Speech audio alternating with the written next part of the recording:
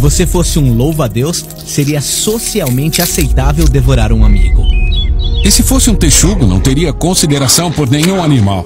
Tá nem aí. Se fosse um panda com filhotes gêmeos, é normal abandonar um para cuidar do outro.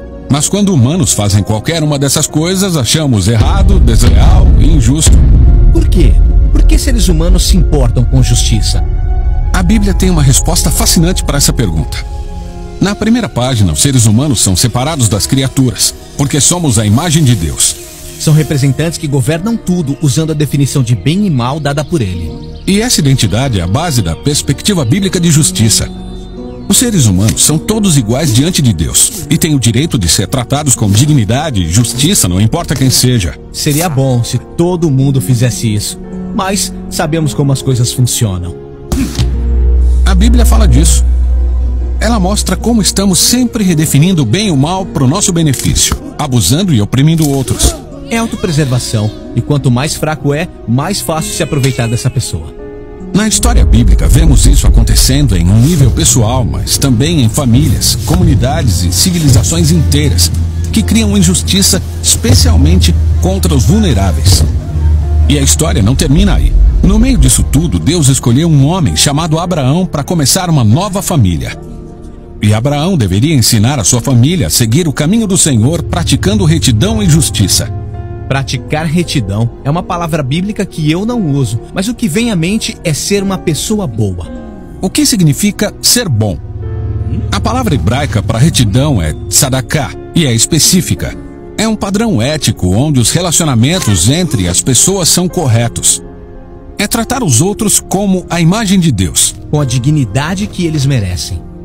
A palavra justiça no hebraico é mishpat, que pode ser justiça retributiva como quando alguém rouba e sofre as consequências. Isso.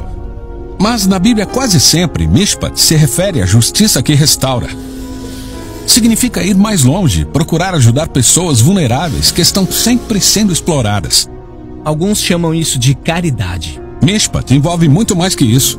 Significa tomar medidas que defendam os vulneráveis e alterar estruturas para prevenir injustiças. Justiça e retidão é um modo de vida radical de quem pensa primeiro no outro. Sim, você encontra essa ideia na Bíblia toda. Como aqui em Provérbios. O que significa promover a retidão? Abra sua boca por aqueles que não podem falar por si mesmos. E o que isso significa para os profetas como Jeremias? Ajude os desfavorecidos e não tolere opressão ou violência contra o imigrante, o órfão e a viúva. E aqui no livro de Salmos: O Senhor defende a causa dos oprimidos, alimenta os famintos e liberta os prisioneiros, mas frustra o caminho dos ímpios. Uau, ele se opõe aos ímpios. Sim, em hebraico a palavra para ímpio é rachá, que significa culpado ou errado. E se refere a alguém que maltrata outro ser humano, ignorando sua dignidade como imagem de Deus. A justiça e a retidão são muito importantes para Deus. Sim, era esse o propósito da família de Abraão, os israelitas. Eles acabaram como escravos imigrantes, oprimidos injustamente no Egito. E então Deus confrontou o mal do Egito, declarando que eles eram rachá, culpados de injustiça. Então ele resgata Israel. Mas a ironia na história do Antigo Testamento é que essas pessoas redimidas cometeram os mesmos atos de injustiça contra os vulneráveis. Então Deus enviou profetas que declararam Israel culpado. Mas eles não eram os únicos. Havia injustiça em todo lugar. Sim, alguns cometem injustiças o tempo todo. Outros se beneficiam com privilégios de estruturas sociais injustas sem perceber.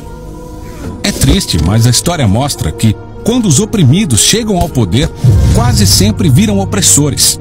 Então todos participam da injustiça, ativa ou passivamente, até mesmo sem querer. Todos nós somos culpados. E essa é a mensagem surpreendente da história bíblica.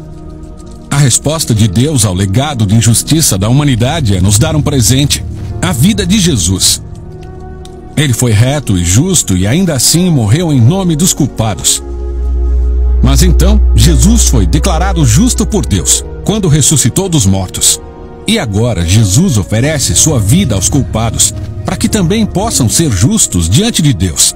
Não por nada que tenham feito, mas por causa do que Jesus fez por eles. Os primeiros seguidores de Jesus experimentaram a justiça de Deus não só como um novo status, mas como o poder que mudou suas vidas e os fez agir de forma diferente.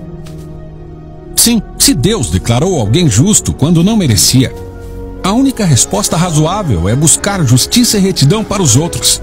Esse é um modo de vida radical e nem sempre é conveniente ou fácil. É ter coragem para fazer dos problemas dos outros os meus problemas. É isso que Jesus quis dizer com amar o próximo como a si mesmo. É um compromisso de vida alimentado pelo que disse o profeta Miqueias.